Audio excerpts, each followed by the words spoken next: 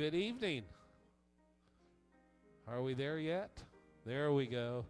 Getting a little sound. I don't need too much, Sean. I got a big mouth up here. So I'm glad that you're here tonight. How many of you are glad to be in the Lord's house this first Sunday night of 2024? It's a great place to be, and we're going to sing together. We're going to pray together. We're going to praise the Lord. We're going to hear from Pastor Bill tonight. Uh, we're going to hear from the Lord tonight through Pastor Bill tonight. And so we'll get that straight here. But we are glad that you're here. We're going to sing together. So grab them hymnals. You're going to need them tonight because we're going to sing some stuff we may not have sung for a while. Over on 419, there's an old song that says, There's a new name written down in glory, and it's mine. Yes, it's mine. Are you glad your name's written down? 419.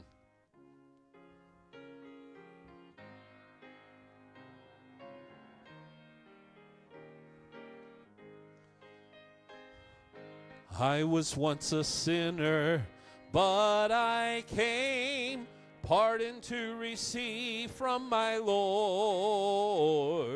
This was freely given, and I found that He always kept His word. There's a new name written down in glory, and it's mine. Oh, yes, it's mine.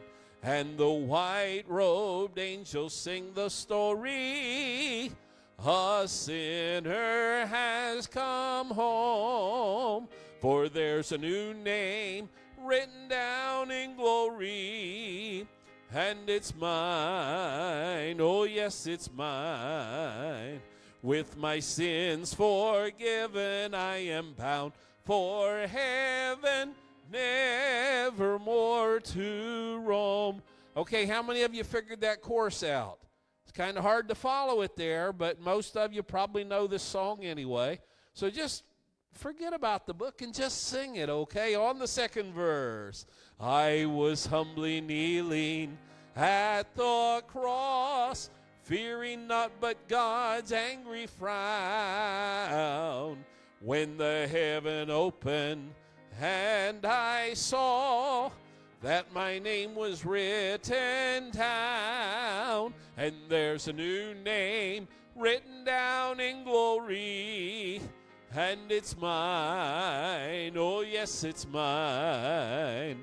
And the white robed angels sing the story. A sinner has come home, for there's a new name written down in glory, and it's mine. Oh, yes, it's mine. With my sins forgiven, I am bound for heaven, never more to roam. In the book is written, saved by grace Oh, the joy that came to my soul. Now I am forgiven, and I know by the blood I am made whole. And there's a new name written down in glory, and it's mine. Oh, yes, it's mine. And the white robe Angels sing the story. A sinner has come home, and there's a new name written down in glory, and it's mine. Oh, yes, it's mine. With my sins forgiven, I am bound for heaven, never more to roam. Amen. Aren't you glad for that tonight? You can know that your name is written down. And I don't know, I've I've been wanting to say something about this for a while, so I'm just going to. I'm going to take a liberty tonight. Can I do that? You can't stop me. I got the mic. I guess Sean can stop me up there, but I'm uh, thanks Sean. Sean took care of it. But you know what? I've been watching a young man around here that a year ago couldn't sing that song. But he's sitting right back there by his wife tonight. a new name written down in glory this year. And I am so tickled.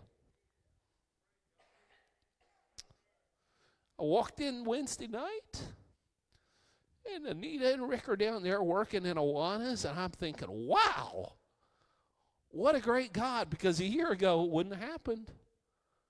But God is working, God is moving. And I just praise the Lord tonight.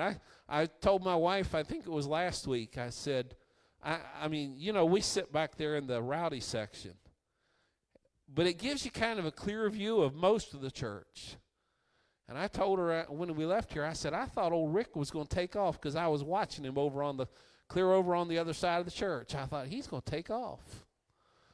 I am so grateful for my friend Rick and the transformation God's made in his life this year. And Rick, I am so just glad your name's written in the book of life. Let's sing another song 487. 487.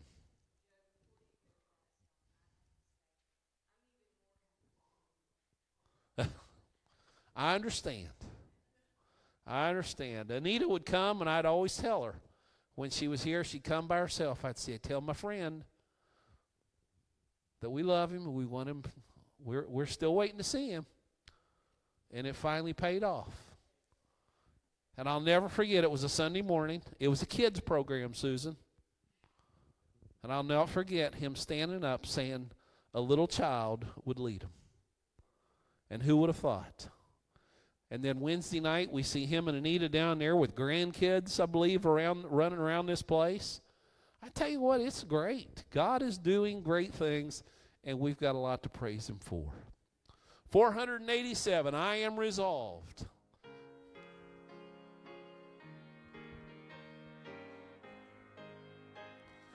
I am resolved no longer to linger charmed by the world's delight. Things that are higher, things that are nobler, these have allured my sight. I will hasten to him, hasten so glad and free. Jesus, greatest, highest, I will come to thee. I am resolved to go to the Savior, leaving my sin and strife. He is the true one, He is the just one, He hath the words of life. I will hasten to Him hasten so glad and free. Jesus, greatest, highest, I will come to thee. I am resolved to follow the Savior, faithful and true each day. Heed what he saith, do what he willeth he is the living way. I will hasten to him, hasten so glad and free. Jesus, greatest, highest, I will come to thee. I am resolved to enter the kingdom leaving the paths of sin. Friends may oppose me, foes may beset me, still will I enter in. I will hasten to him, hasten so glad and free. Jesus, greatest, highest, I will come to thee. Amen. Y'all singing good tonight. Have you made that decision? I am resolved to follow the Savior. 481. I tricked Susan. I found one she didn't know. Or she said she didn't, but we did all right with it. So 481.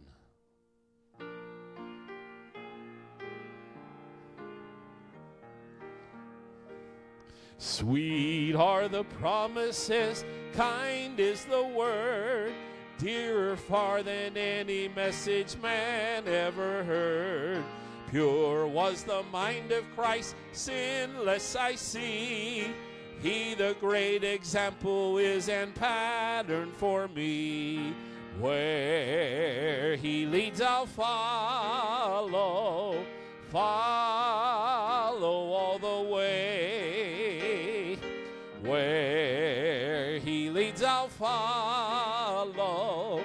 Follow, Jesus every day.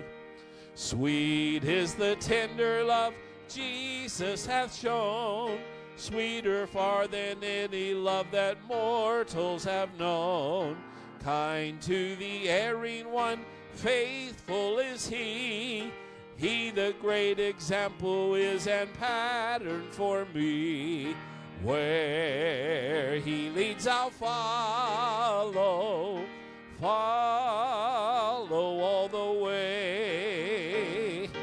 Where he leads, I'll follow, follow Jesus every day. List to his loving words, come unto me. Weary, heavy laden, there is sweet rest for thee. Trust in his promises, faithful and sure. Lean upon the Savior, and thy soul is secure. Where he leads, I'll follow, follow all the way. Where he leads, I'll follow,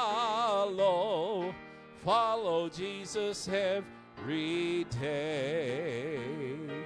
I hope that's your prayer. I hope that's the prayer of your heart tonight as we enter a new year.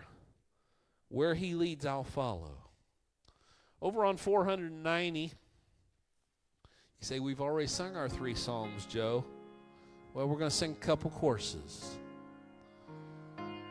And one of them's over on 490. And I was thinking, what a great way to start 2024 by making this our prayer. Oh, to be like thee. Oh, to be like thee. This is my constant longing and plea. Blessed Redeemer, pure as thou art, I want to be like you. I hope that's your prayer tonight. If it's not, it can be before you leave here. That that would be your goal for 2024 to be like him. Can we sing that chorus together tonight? Oh, to be like thee. Oh, to be like Blessed Redeemer, pure as thou art. Come in thy sweetness, come in thy fullness,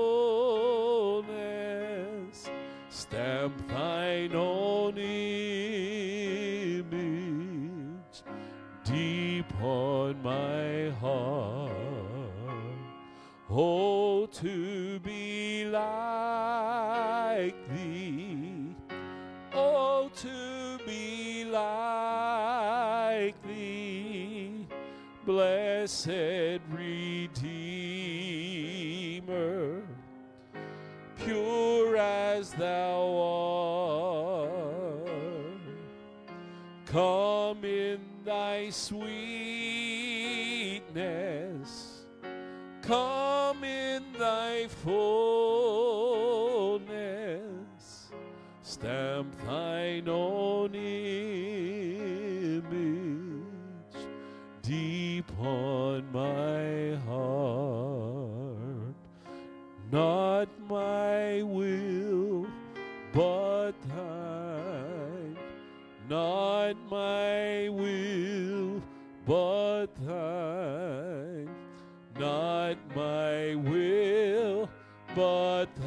will be done, Lord, in me. May thy spirit divine fill this being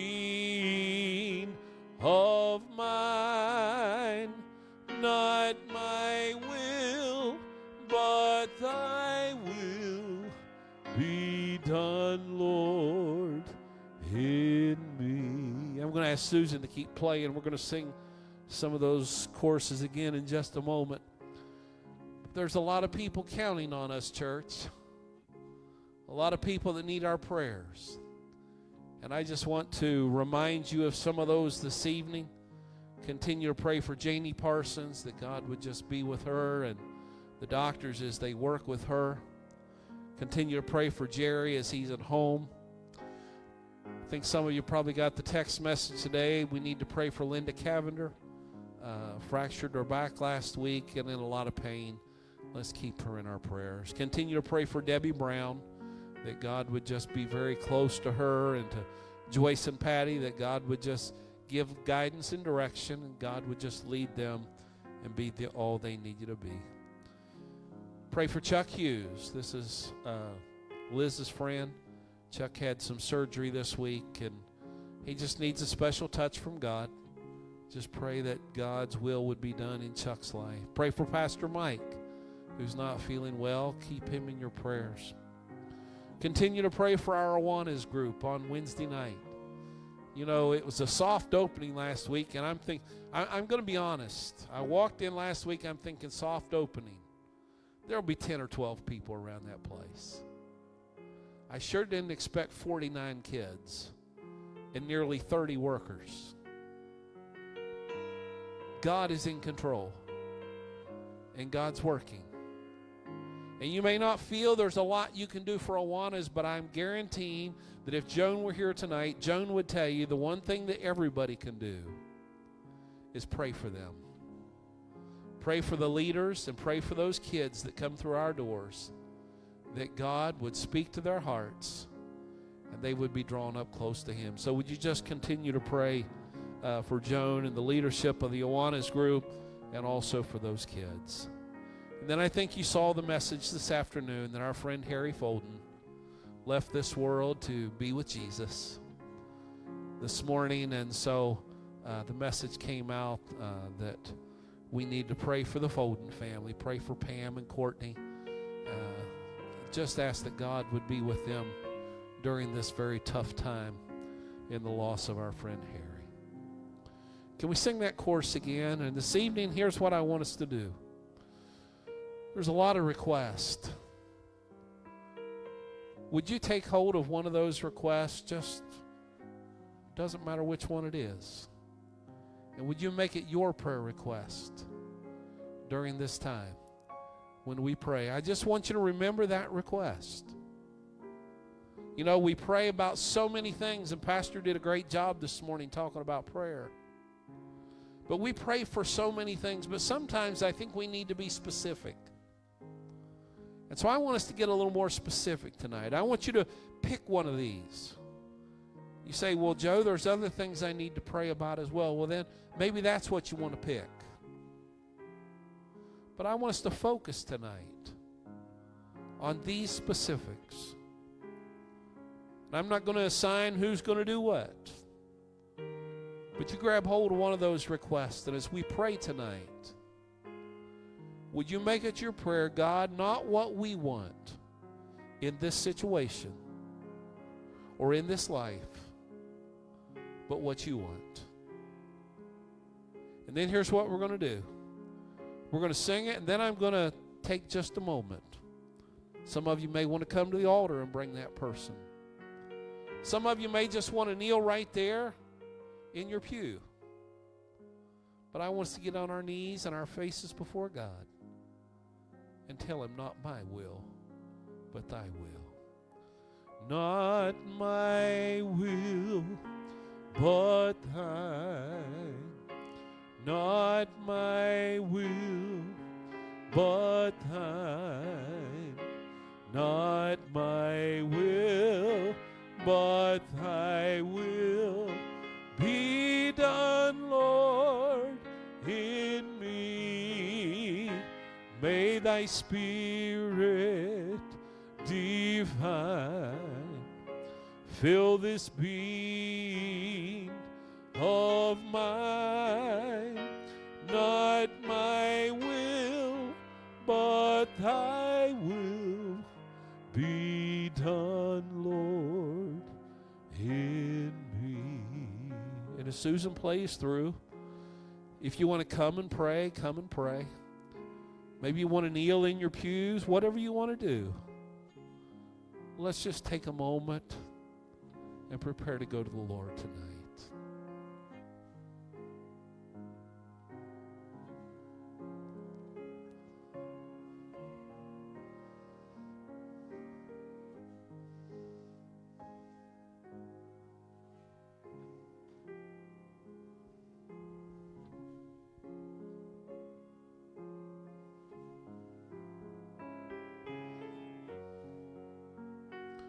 Father, that's our prayer tonight. As we enter 2024, not our will, but your will be done.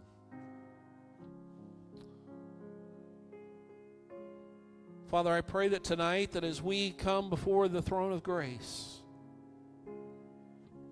as we approach it boldly tonight, knowing that everything is in your control and in your hands. And we don't have to worry about any of these situations because you've already gotten them taken care of. For you tell us that all things work together for good to those that love you, who are called according to your purpose in Christ Jesus. They may not turn out the way we want them to, but Lord, we can feel confident and know tonight that they are in your hands and that tonight your will is going to be accomplished. Father, I pray that tonight you would just come and settle in upon us as you already have. Father, that you would continue to walk in and out of our aisles and speak to our hearts. Father, I pray that tonight that you would be with every one of these requests. And Father, as we have grabbed hold of them tonight, and Father, as we reach out on behalf of that one individual that we've chosen, Father, would you be with them tonight? May they just feel your peace and your presence and your power surrounding them and being with them even right now. And may they know that the church loves them and the church cares and that they are in your hands. Father, I pray that tonight that you would come during this time together. Father, these are your people. We've come to your house to worship. We've come to worship together. And Father, I just pray that tonight that as we are gathered in this place that the very presence of God would just walk in and out of every aisle. Speak to every heart. Minister to each and every one of us. And Father, when we leave here tonight, may we be able to say that it's been good to be in the house of Almighty God. Father, speak tonight. Use your servant, Pastor Bill, as he brings the message to us in just a few moments. Father, would you just use your servant as you have so many times in days gone by? Would you reach down and, Father, even right now, may the Holy Spirit of God touch him from the top of his head to the bottom of his feet. Then, when he stands behind the sacred desk tonight, that the Holy Spirit's power would be felt through his words. Father, come tonight. Come in a special way. Minister to our hearts. Minister to our lives have thy complete and total right of way. And for all you'll do, we'll thank you and praise you. In Jesus' name, amen. Not my will, but thine. Not my will, but thine. Not my will, but thy will be done, Lord, in me. May thy spirit divine fill this being of mine, not my will, but thy will be done,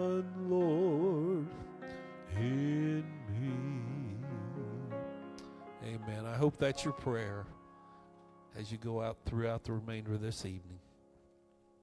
Don't forget, there's a lot of things going on around here. There's going to be a Red, blood, uh, Red Cross blood drive January 18th. You need to get signed up for that. Wednesday night meals are coming back. Awana and small groups will be meeting on Wednesday nights. Just a lot of things happening. God is working and God is moving, and we're grateful for that. Would you pray for our friend and one of our local pastors, Pastor Bill Burdette, as he comes to break the bread of life?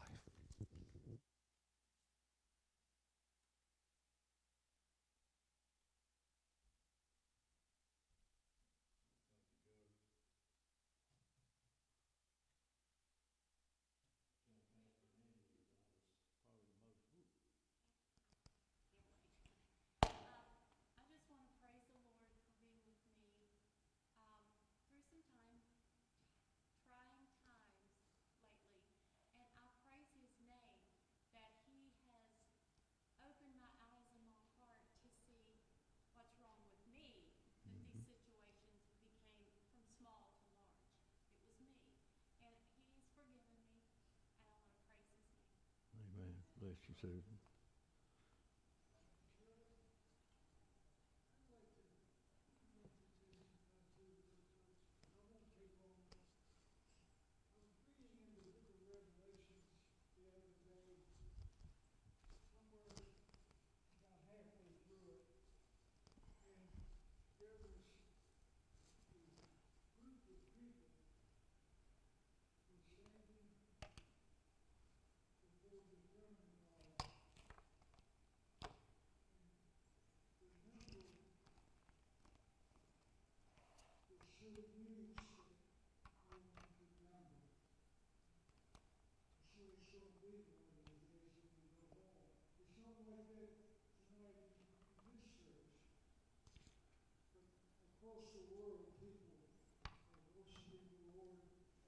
the Lord and trusting in the Lord.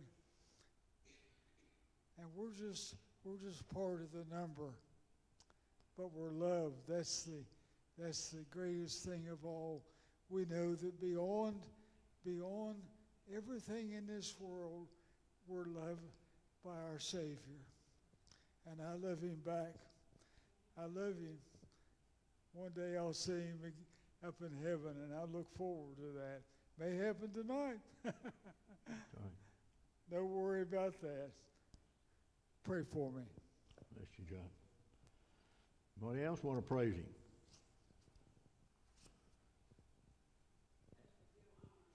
Bless you, Joanne.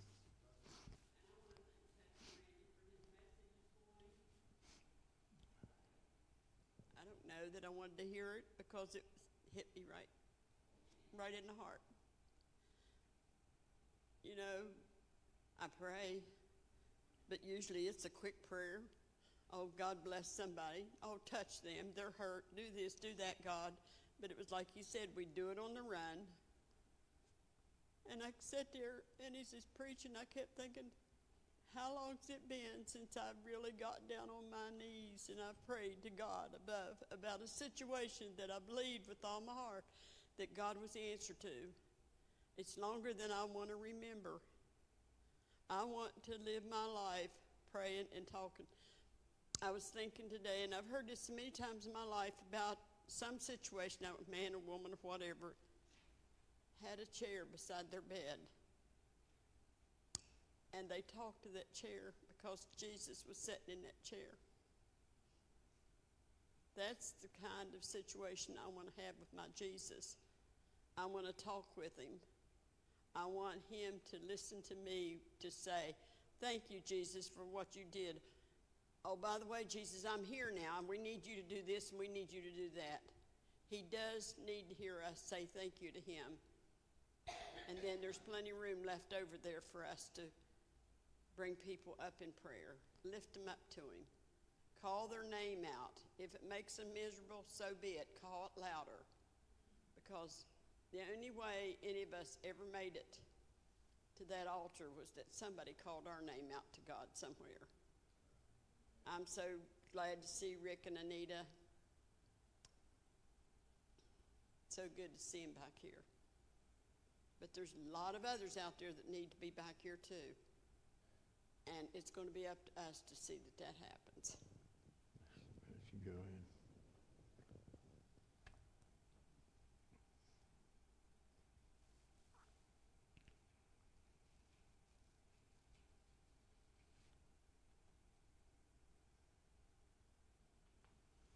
All right. That's probably the most surprised person in the church house this morning when I looked in the bulletin and said, I was to preach tonight. Uh, Mama Rosa don't do computers anymore, and I'm totally illiterate to a computer, so I don't do the computer. And uh, I guess it was on the schedule for me to me to break the bread tonight.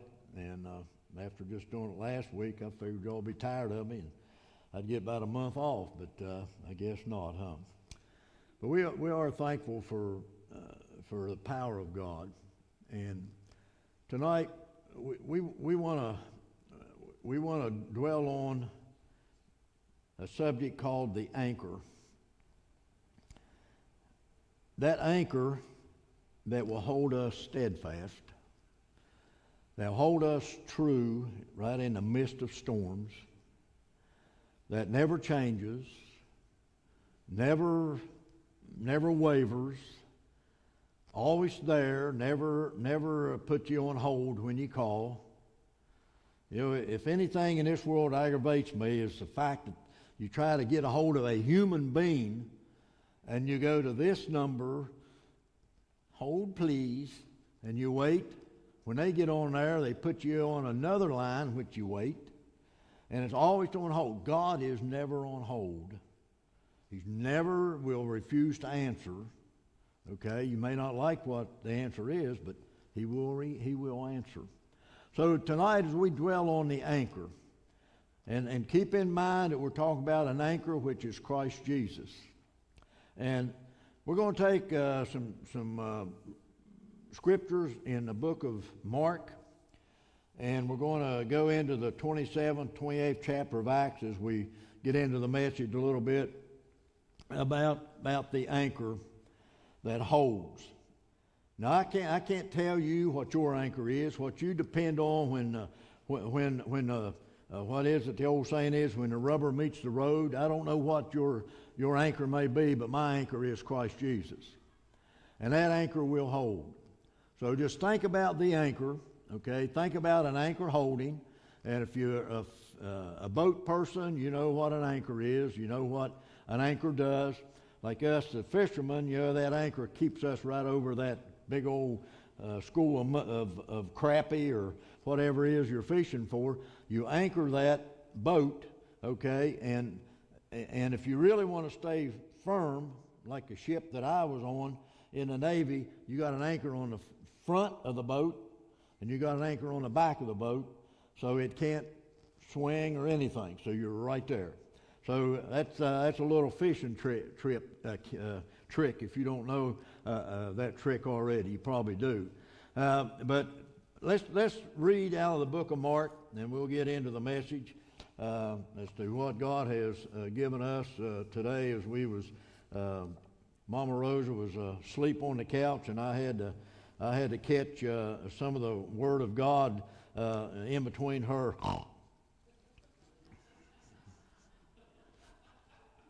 I love that woman. You all know that. And I, I get away with a lot of stuff, okay? Uh, Susan sitting there shaking her head, yes, probably if Randy tried that, you'd have a bad day. Joking.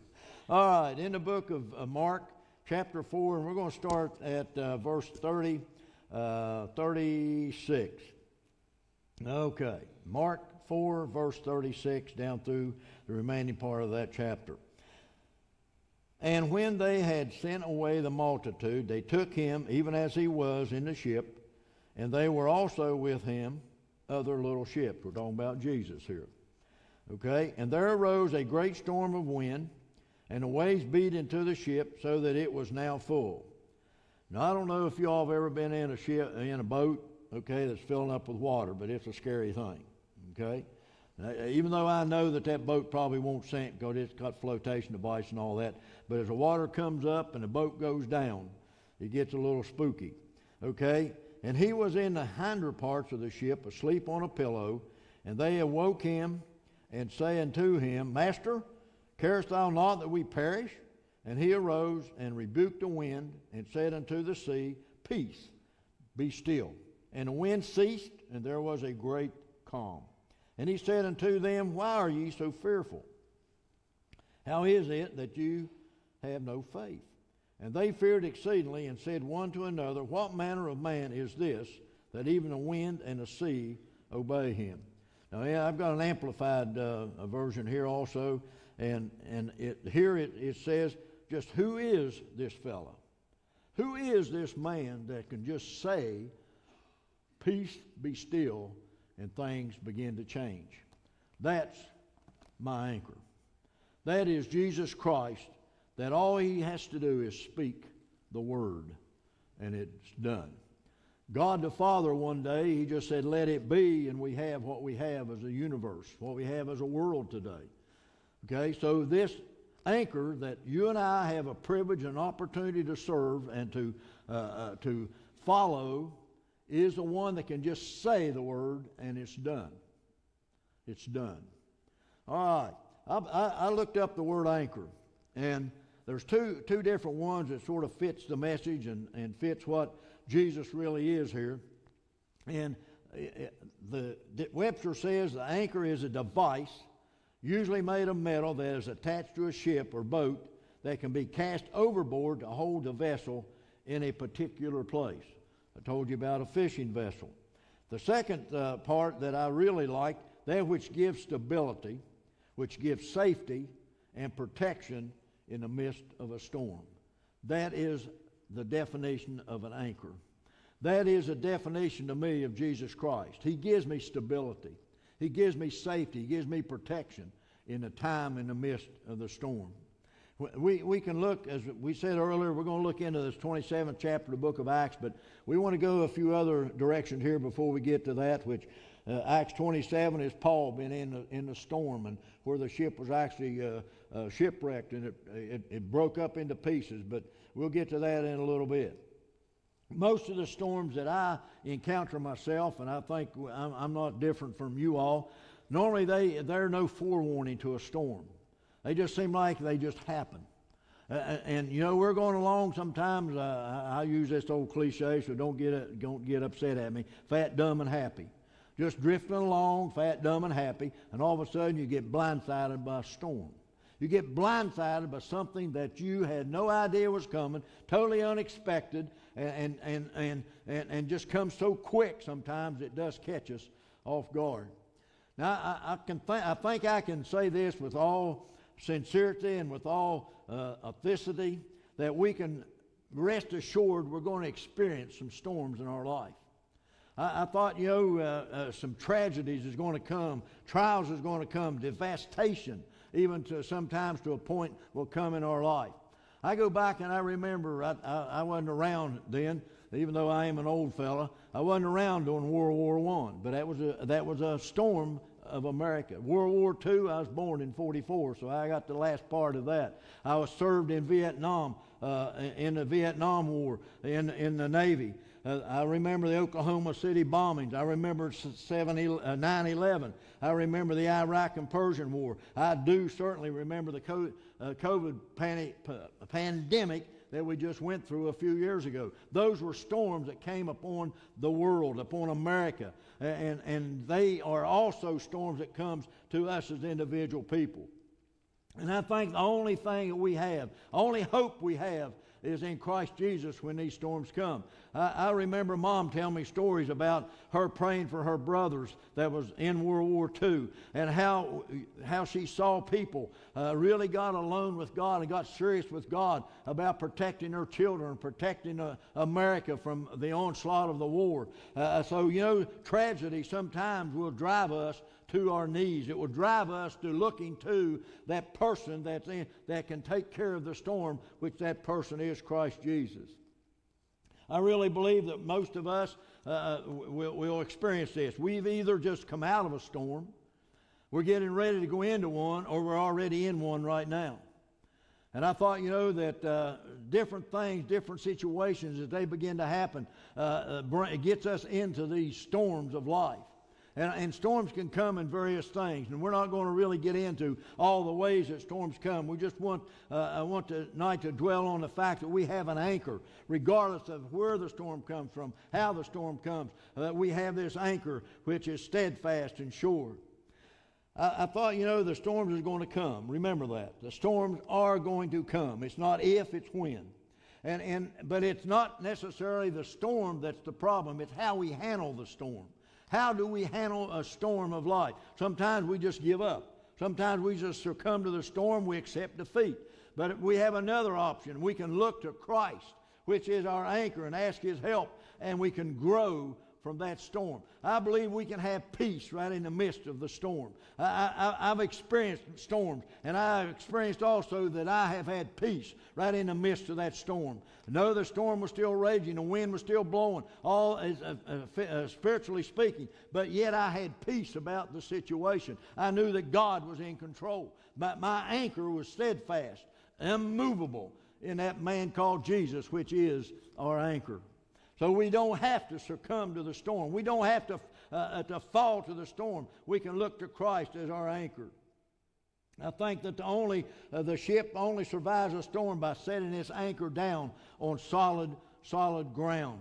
The ship I was on in the Navy had an anchor in the front and an anchor in the back. And we were in a, a, a pretty bad storm uh, coming off of Cape Hatteras one time, and, and they had to actually throw the anchors out uh, to, uh, uh, and one thing you don't want to do is for that, you gotta, you gotta steer that ship where the, where the front of the ship is going into the storm. You don't want to get sideways. You want to go forward. And, and you know, you, you put that anchor down so that ship is always going to be pointed into the storm. Because, it, you know, we, we got into some one time and it gets to rocking this way, and that ship will actually go up so far it can tilt, it can go over. So the storm uh, it, it, needs to be faced head on. I, I believe sometimes we as Christians, uh, we, don't, we don't face our storms head on. We start uh, uh, getting a jelly back or whatever that's called. And we, and we, start, uh, we start doubting. We start uh, looking around. And, but instead of looking to the man called Jesus, we start looking at the circumstances. We start looking at the storm. And we don't need to look at the storm. We need to look at the anchor, which is Christ Jesus. Glory. Don't allow the storm to dictate to us our reaction to the storm. Our reaction should be to Christ Jesus. When the storm threatens to destroy us, we need to cast our anchor on a solid rock, which is Christ Jesus. I want to share a little story with you.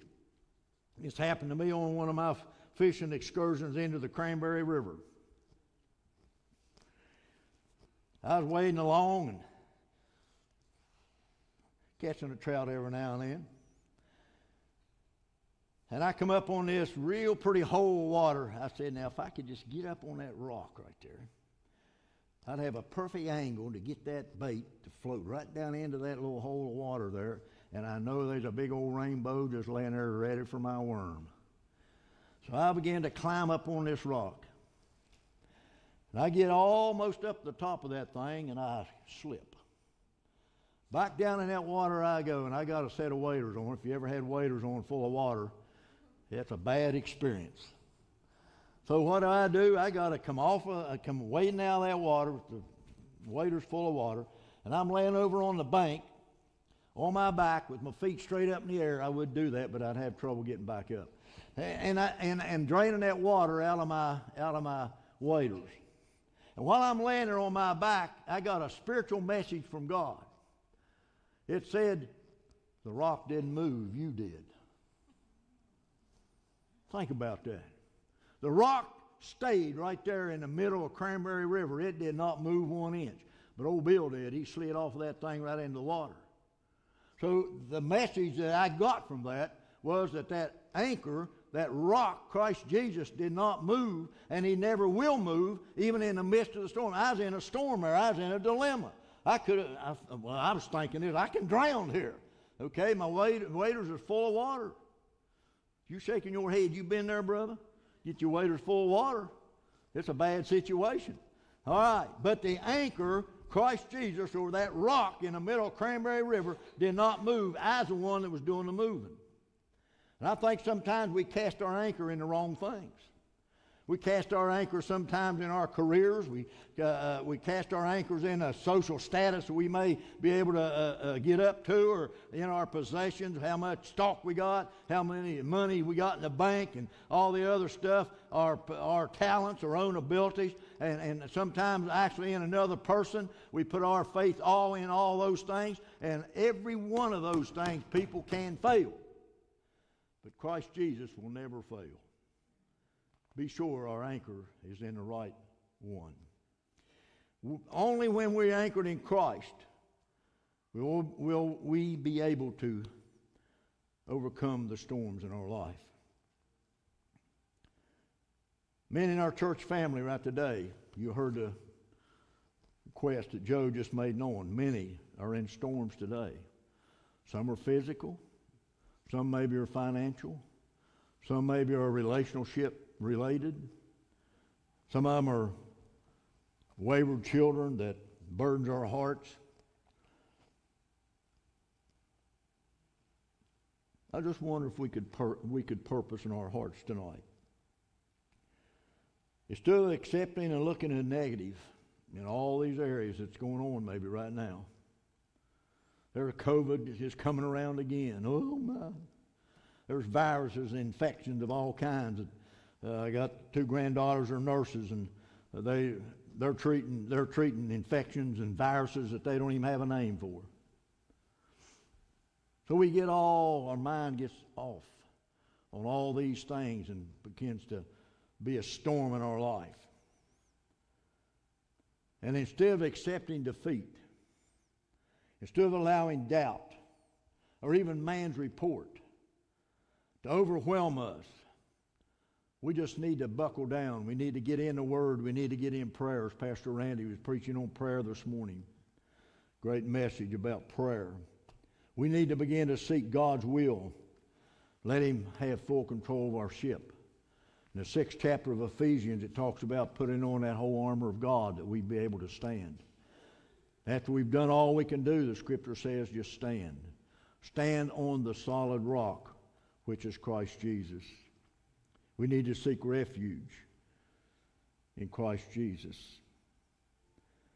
our anchor.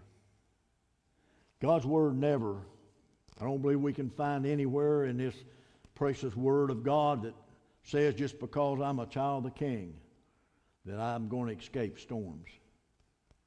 In fact, I believe I can find in there where because we are children of God, we're going to, we're going to experience some stuff. We're going to experience storms in our life just because we are the child of the King, because we are separated people, because we are holy people trying to live in this troubled world and telling people about Jesus and about His love. You'll get some storms of life just because of your witness, just because of we are who we are or who we should be. Okay? But the Word of God does not, being a Christian, does it ever tell us that we're exempt from storms of life. Never have I found that in God's Word. If you can find it there, I'd love for you to show it to me. God's Word never tells us because we're Christians we never face the storms. But it does tell us that He will be with us in that storm. I believe in the 15th chapter of John, it talks about the vine and the branches. As long as we stay in the vine, we stay, uh, stay connected to, to the vine, then we, we're in Christ Jesus and we have this anchor at our disposal. Ask what we will, the scripture says. If it be in the will of God, then it will be done for us. The anchor, Christ Jesus. Hebrews 13:5 gives, gives me some peace. And when it says, I will never leave you, I'll never forsake you, I'll go with you all the way, even to the very end. That's God's promise. Man may lie to you. As I said earlier, sometimes we put our, we put our trust and our faith in the wrong things. And pe- people sometimes is one of those things that we put our faith and trust in that could fail us. But we can never, never, never do I find any place where God has ever failed to keep his promise. Some of them have not been fulfilled yet, but that's yet in the future. That's called prophecy. It's never been promised that we get saved and we won't face storms. Job 14.1, matter of fact, says mortals or man born of woman is a few days and full of trouble.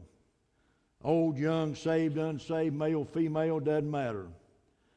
We're going to face troubles.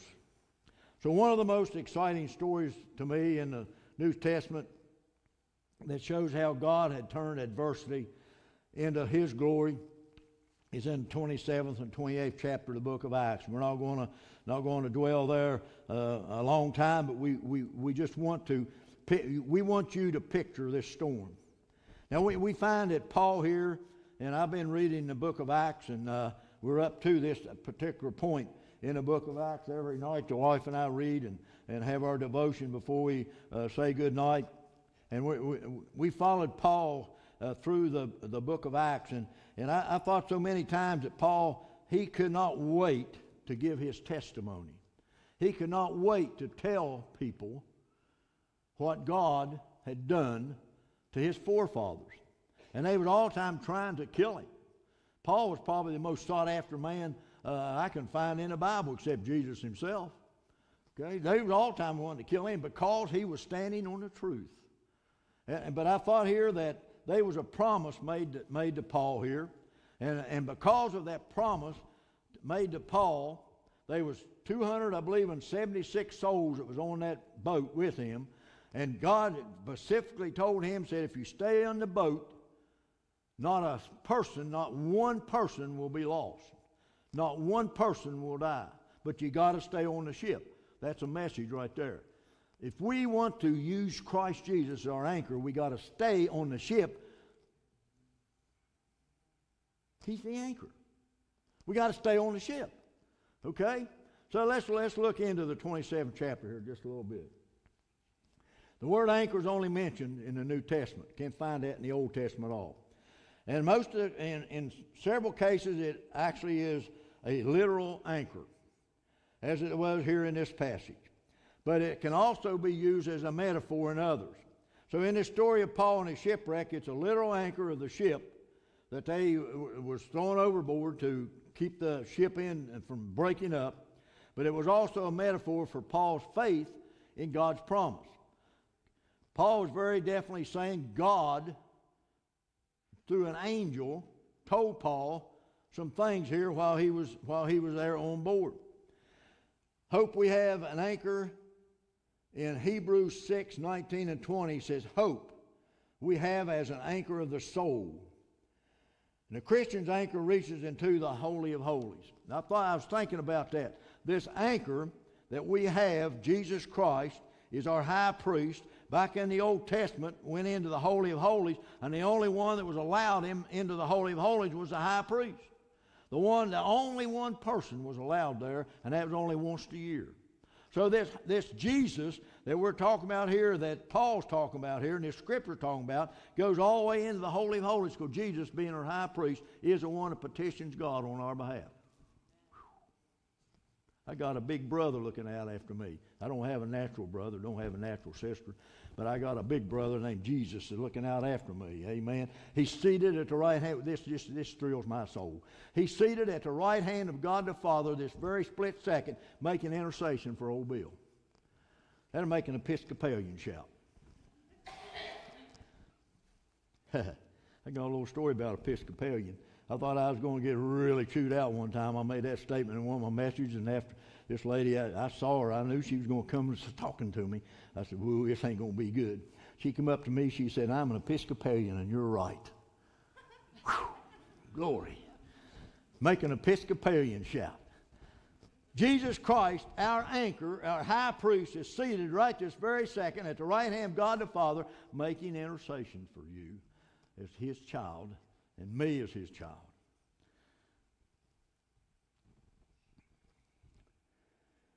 When the storms of life, when they come, Hebrews 13, verse 8 said, Jesus is the same yesterday, today, and forevermore.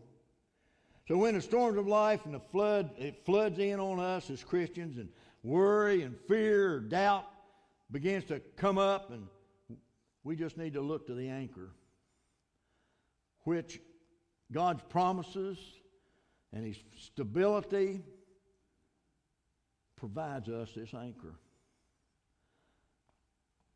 May I be as bold as to say it doesn't really matter what the storm is. It doesn't matter what the storm is. It's not about the storm. Are we going to believe and trust God's promises when He says, I'm here? I'm here. I'm your anchor. But you got to throw me overboard. You got to let her hang. You got to, got to hit some solid rock here. God's promises. Promises remain the same. And I really, do, I really believe this from the very depths of my heart that God does not want His children to be defeated. He does not want us to be defeated, but He wants us to be anchored in Him and in a secure place, which is Him. Just as a ship's anchor holds a ship from drifting, so, so does our hope in Jesus. My hope in Jesus Christ keeps me stable, keeps me focused. Because if I had hope in, all, in a lot of other stuff that I couldn't, I couldn't feel that stability. But I know who I serve. And I love that scripture there in, the, in, in Paul said that when this angel appeared unto him, he said, Angel of the Lord, whom I am, whom I serve, spoke to me tonight and told me some things. See, Paul had a, Paul had Paul had an appointment with Caesar in Rome. So God, this is maybe not the right way to say it, but God, in a sense, was obligated to keep Paul, keep him safe, because he had a divine appointment with Caesar. He, Paul, Paul would have been set free, but he, he appealed to Caesar. Read that. That's beautiful stuff. 25th, 26th, 27th, the book of Acts. But he appealed unto Caesar. So he had an appointed time to go and preach to Caesar, the king, the guy, the main honcho. Paul had an opportunity to go and preach to him. Along the way, as he defended himself, King Agrippa, Felix, all of them. One of them even said, Well, Paul almost outpersuaded me. One of the others said, Paul, you're crazy. You're a madman. Because Paul's faith was so strong that he knew who his anchor was. He knew who his anchor was. I believe that this anchor, this hope in Jesus, keeps us secure in a difficult and uncertain times and maybe even some painful times in our life, but this anchor holds. Real quick, four anchors that kept Paul steady and secure are the same four that are available to us today. Great man Paul, but there was four anchors here in this story in the 27th, 28th chapter of the book of Acts that we want to bring out tonight. Anchor number one is God's presence. Paul said that they, he was in the presence of someone this night. For there stood by me this night the angel of God, whose I am and whom I serve.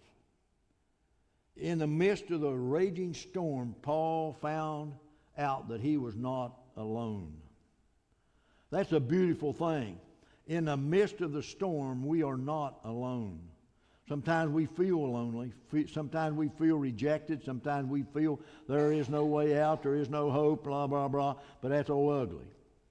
The Bible says that there is hope because Jesus Christ is there with us. We're not alone. The Lord came to minister peace to Paul's heart. If we have this same confidence in our relationship with Jesus Christ that Paul had in his relationship with Jesus Christ, we have these same promises of faith in God's promises and God's presence in the form of an angel that came to him. And I believe that uh, we, the scripture actually says this sometimes, uh, one place there, it says, we sometimes entertain angels unaware. I believe there's angels come to us, and sometimes we don't recognize those angels. We don't recognize them. I firmly believe that there's two times in my life that I very well could have entertained an angel. You're looking at me like I got four heads. No, I'm telling you experience. One of them was on the uh, uh one, one of them was right outside the Morrison building on Courier Street. There's homeless people by, even back in the in the 70s. And this one fellow I had never seen there before, never seen after that, and, and, and he did not ask me for money, but I just felt impressed to go up and just say, good afternoon. Actually, it was afternoon. Good afternoon to that fellow. And, and, and, we stood there on the street and talked, and I said, I'm going to lunch. Why don't you go along with me? And he said, Okay. Y'all still with me? You don't think I'm goofy, do you? I'm looking at you. Got one hand back there says, You crazy. We sat there and we talked, and I had never in my life felt the presence of God any stronger than I did over that meal. That fellow blessed the food. One other time was even a little bit crazier than that, so I'm not even going to go there because y'all done done looking at me like I'm a nutcase.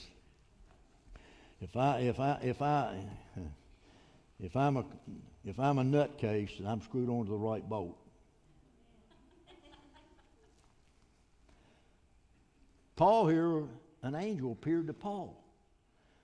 Paul was a man just like you and me. Y'all okay? Got awful quiet in here. You with me?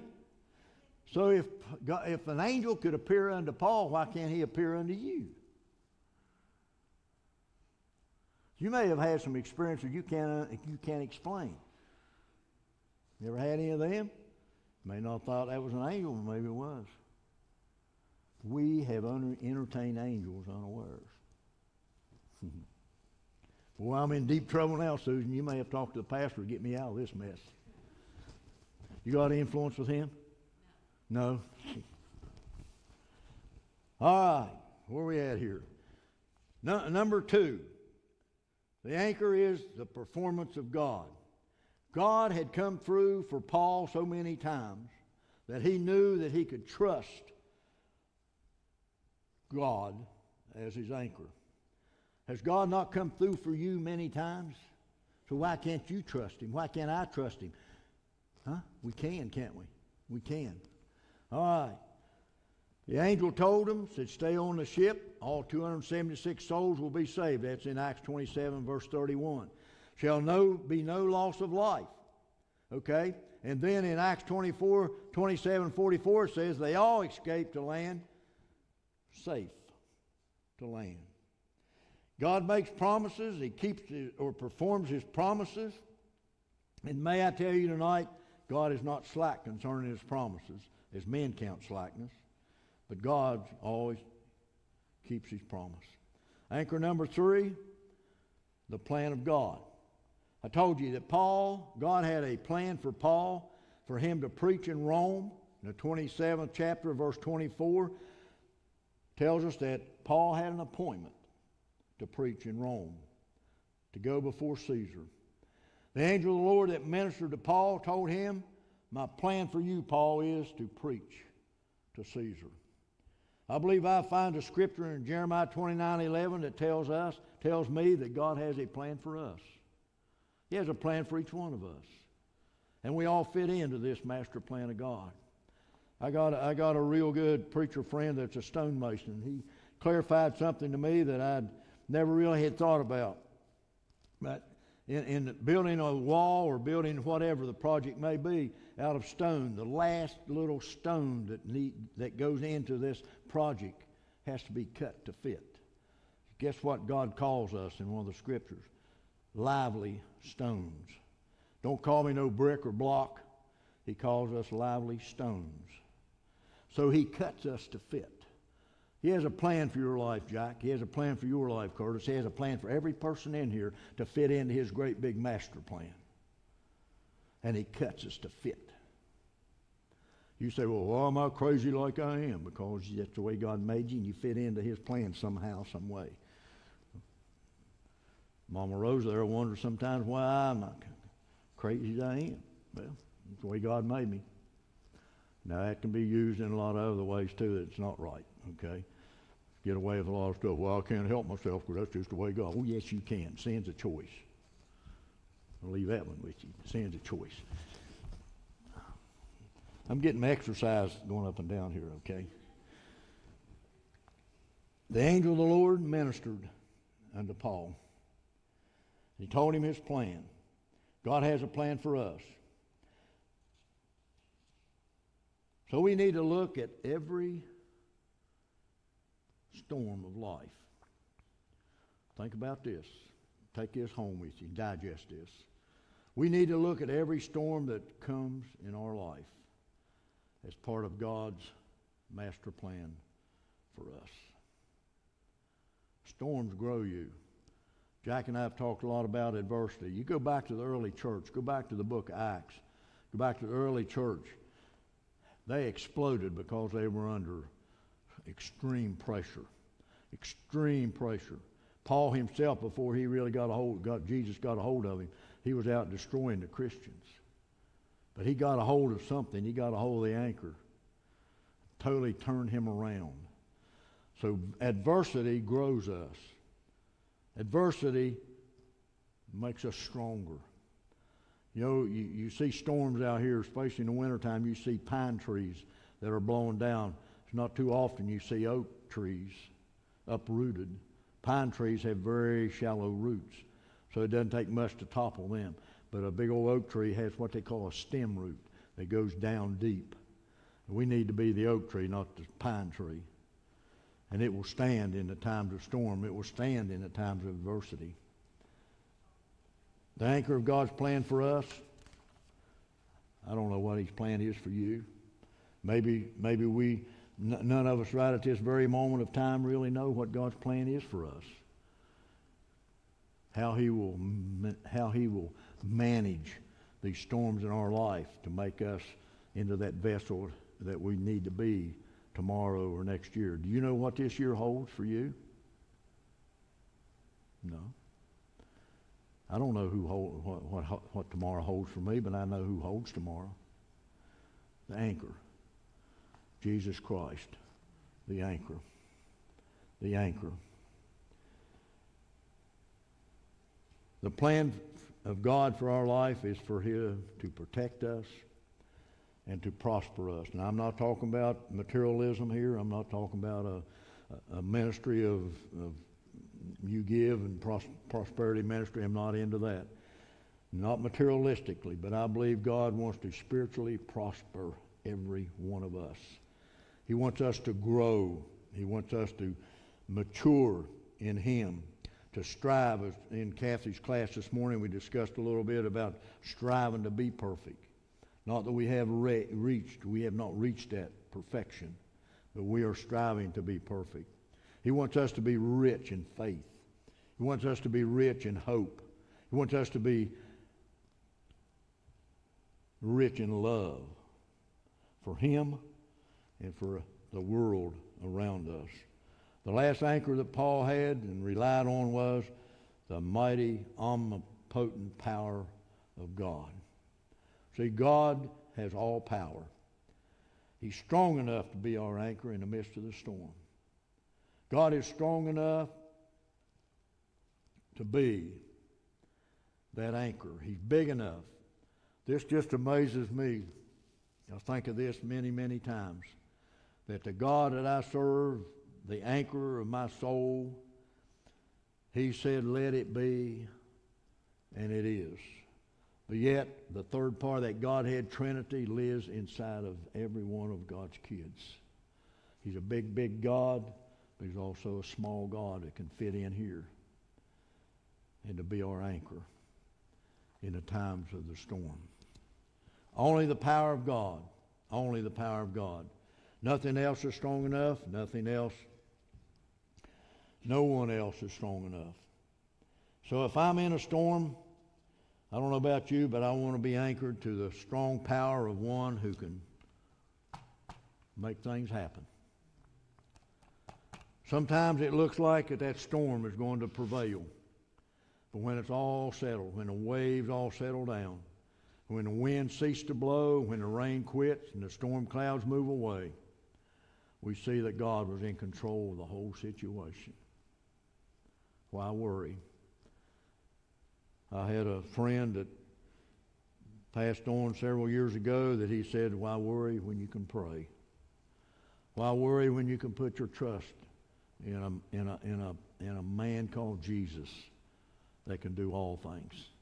Why worry? Why fear? Why go through all the panics that we go through sometimes when we feel that things are out of control? But we re- need to realize that God is always in control. This I can promise you. This I can promise you. No storm can blow us off course if we are anchored to Christ Jesus. No storm. I had a devotion a few, a few days ago that tells me the power of my anchor in closing. The Jewish culture always talked about the raging waters were something to be feared. And while water represented life, large bodies of water symbolized chaos, danger, and destruction. Water seemed to have a mind of their own, and in their grasp, humanity was at risk. Raging waters could overpower, overwhelm, and destroy. There was little defense against such powers of the creation.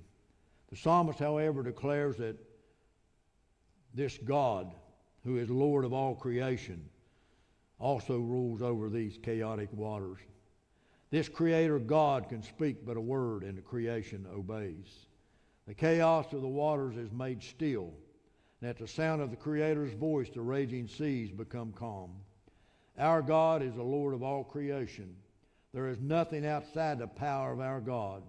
We can take comfort that when we face the chaotic waters of our world, in whatever form they may take, our God is more powerful still. There is no chaos our God cannot bring to order or power that is too great for our God to overcome. Thanks be to God. Thanks be to God. As Susan and Joe would come back, and we're going to close with a with a song tonight. Um, I handed you out a well, Kevin did. Thank you, Kevin, for that. Handing out this uh, prayer, and I thought that if Susan would just uh, just play softly, that you would look at page. Maybe you've already read it all the way through, but realize that this is a prayer. This is a prayer from each one of us to God, which very simply says, I cannot fix my situation. I cannot calm the raging seas of my life. I cannot still the winds that blow against me. I need help tonight. By faith, I cast the anchors of your presence, your promises, your providences, and your performance into my sea of turmoil. I am resolved to trust you that you will walk into my storm and you will speak peace when it is your will to do so. Until then, I will not fear, I will not fret, I will not fight, but I will trust you to do what is best. And whatever your storm is, if you pray this prayer and you pray it from the very depth of your heart, and you release this storm to this man called Jesus, which is your anchor, and you do not fear, you do not fret, you do not fight, but you trust that God will make this storm a blessing. He will make this storm a blessing for whosoever will just believe and just trust in Him. So as we sing this song, I believe it's 370, 470, 570 in your hymnals, 570 in your hymnals. Think about this prayer. Take this prayer home, and if you need to, put it somewhere. And every time you pray, just pray this prayer. If you're going through a storm tonight, God is concerned about that. God is concerned about that. So as we sing, you meditating upon these things of God. If you feel a need to pray, you feel a need to come to the altar and talk to God about a storm you're in, we, we encourage you to do that, to be obedient to the Holy Spirit.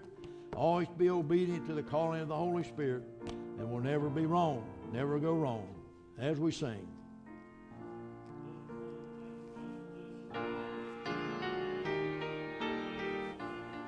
I fixed my hope in Jesus, blessed anchor of my soul.